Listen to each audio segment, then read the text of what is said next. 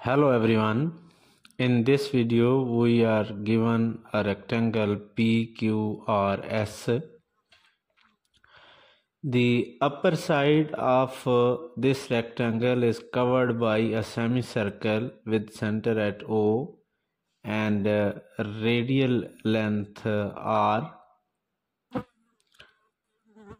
The remaining portion of this length is covered by a quarter circle uh, having radius BQ.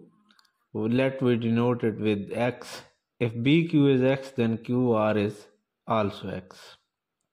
Now, if we draw a tangent from point Q to the semicircle, which is also tangent at A, having length 12 centimeter, by this given information, we have to find the area of rectangle PQRS.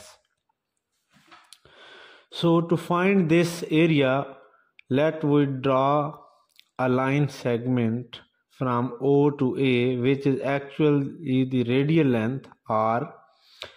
And since at point A, radial length is perpendicular to the tangent line, so the angle OAQ is right angle which gives us a right triangle OAQ having hypotenuse OQ which is actually sum of R and X. Using Pythagoras theorem we have OQ square is equal to OA square plus AQ square.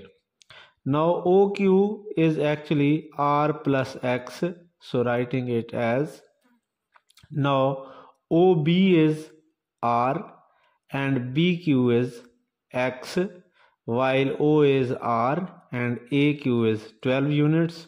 So writing this all and expanding the left side we will get r square plus x square plus 2rx is equal to r square plus 12 square.